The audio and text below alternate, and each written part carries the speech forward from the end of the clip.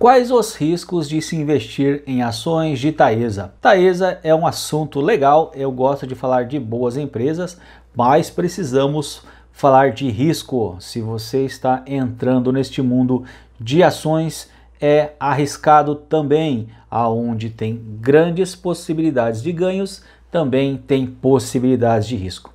Se você vai investir em Taesa, você precisa assistir esse vídeo para estar antenado aí nos riscos de investir neste setor ou então em renda variável. Vamos falar dos riscos para te alertar, mas tem muito mais além disso aqui. Editor vai soltar a vinheta e se você quiser já deixa aí o seu joinha.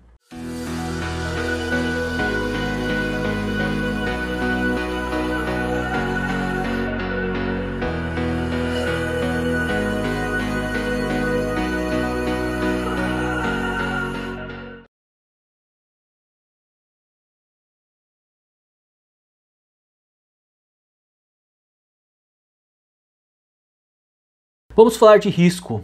Controle de risco numa carteira é essencial.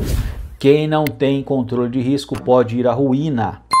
Não se deixe enganar com essas promessas de dinheiro fácil. Dinheiro não é fácil. O que é fácil é estudar e ter conhecimento para aportar e construir o seu patrimônio através de uma carteira de ativos. Quando eu falo de carteira de ativos, aí você entenda tudo que gera renda passiva. Desde imóveis alugados, que eu considero ativo, até a renda fixa, que tem gente que não gosta. Eu também não gosto muito de renda fixa, mas faz parte aí da nossa estrutura de é, ativos. Beleza? Quais são então, Peterson, os, os riscos de Taesa? Eu elenquei cinco riscos aqui. Vou falar de um a um e o último é o mais interessante. Então fique comigo para saber qual é o último risco que se você cometer pode afetar aí a sua vida como investidor. Beleza, vamos lá então. Risco número um é o risco do mercado. O que, que é o risco do mercado? Quando você está investindo no mercado, você vai entrar no mercado de oscilações. Então, quando eu falo de risco de mercado, você corre o risco de comprar às vezes na alta e vender na baixa. Isso aqui te gera prejuízo, porque o certo é comprar na baixa e vender na alta. Aqui estamos falando de especulação, day trade e swing trade.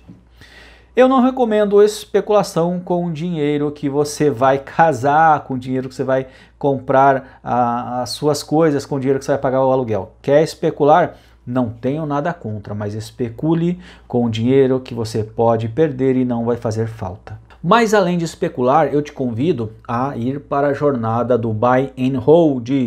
Buy and Hold é uma ótima jornada. Inclusive nas, nos próximos dias, se você estiver assistindo esse vídeo antes do dia 28, 29 e 30, eu vou fazer um curso gratuito e eu vou pedir para o Madiel colocar aqui embaixo deste vídeo aqui o link para a inscrição do curso gratuito 3 dias de aulas. Vamos lá então, o, o risco do mercado é esse, as ações oscilarem. E pode chegar a zero, Peters? Pode, pode chegar a zero. Com Taesa, acredito que isso não vai acontecer, mas é um risco. Número 2, o risco da falência. Esse risco de falência é, é um risco inerente a todas as empresas. Qualquer empresa que está aberta pode ir à falência. Aqui eu cito o caso de Oi, que é uma ação muito popular. Ela está no risco de falência. Mas antes de chegar à falência, existe a recuperação judicial. A Oi já está há vários anos nesse processo de recuperação judicial. E se ela sair, acontecerá um turnaround. Por isso que o pessoal compra ações da Oi a 80 centavos e espera que depois que passe de 10 reais. Mas é um risco de toda a ação, de toda a empresa. Quando eu falo ação, lembre-se que por trás daquele papel TAE11 existe uma empresa com famílias trabalhando, com empregados, com os diretores, com os vendedores, com os operacionais, com os administrativos. Então é uma empresa. Se você investe em Taesa, TAE11, você está se tornando sócio de uma empresa. E corre risco de falência? Corre, mas vai acontecer? Acredito que não. A Taesa já está há 10 anos no mercado. Acredito que não vai falir porque energia é essencial. Risco número 3. Risco de não renovação de contrato de concessão com o Estado. Energia elétrica, fornecimento de energia elétrica é feito através de concessões. Então, a Taesa, ela participou de um processo seletivo. É, grandes processos de concessões são feitos através de licitação. Há empresas concorrendo para ter o direito de é, ser uma concessionária. No caso da energia elétrica, temos concessão que pode ser de 30 anos, por exemplo. Geralmente as concessões são de longos prazos. Inclusive pedágios também são concessões, fornecimento de água pode ser por concessão também. Só no, no, caso de fornecimento de água, tem uma empresa só em São Paulo, que é a Sabesp, então não tem concorrência. Então, o risco de perder aí, o contrato de concessão ou de acabar o prazo desses, por exemplo, 30 anos, o Estado não renovar, é um risco também. Fica o alerta. O próximo risco, risco número 4, é o risco de inadimplência de, dos consumidores. Aqui é um risco mínimo, na minha visão, porque os consumidores que ficarem inadimplentes perderão o fornecimento de energia elétrica.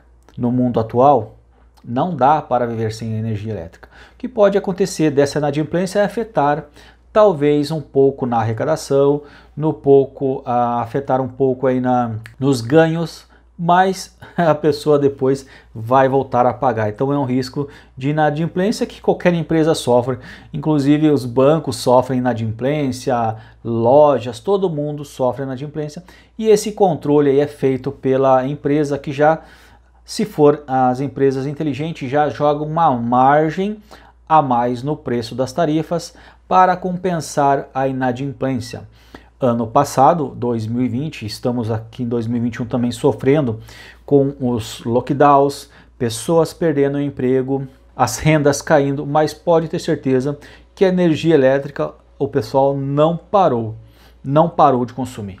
Este risco de inadimplência é um risco pouco também, porque é essencial ter energia em casa. O próximo risco aqui é o risco de deixar de existir como é que uma empresa vai deixar de existir?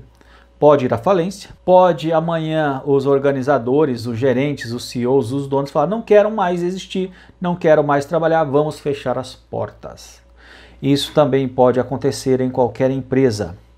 Por exemplo, este canal Peterson Siqueira, um dia eu posso acordar e falar: não quero mais ter o canal Peterson Siqueira, não vou mais produzir vídeo, não vou mais ajudar ninguém, cansei, deixo de existir. Pode acontecer com Thaisa? Pode. Canal Pet Siqueira vai deixar de existir? Não, gente. Eu sou muito feliz em te ajudar. O que eu fico mais, mais contente é quando alguém me procura. É, por exemplo, ontem me procuraram no Instagram um jovem que não é maior de idade, queria abrir conta. Eu estou ajudando ele a abrir conta lá na Oraman. Inclusive, se você quiser investir pela Oraman, vou deixar o link aqui embaixo, a corretora que eu estou indicando, uma ótima corretora, eu consigo dar suporte, consigo ajudar as pessoas que querem investir pela Oraman. Então esse jovem me procurou, estou ajudando ele a abrir conta. E isso daí é gratificante saber que uma pessoa tão nova já está pensando lá na frente ter uma vida melhor. Então não vou deixar de existir, assim como Taesa acredito que não vai deixar de existir.